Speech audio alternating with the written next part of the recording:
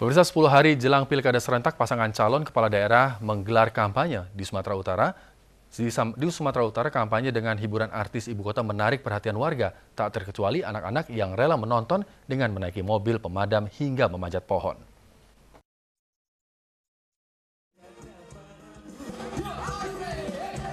Puluhan ribu orang membanjiri lapangan Aigondang Mandailing Natal dalam kampanye akbar pasangan calon kepala daerah pagi tadi.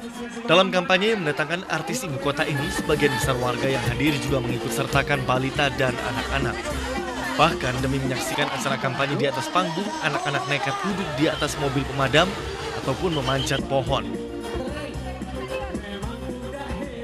Pemeriksaan surat suara dilakukan panitia pemungutan suara di kantor KPU Mamuju Utara Sulawesi Barat mendapatkan pengawalan ketat aparat kepolisian.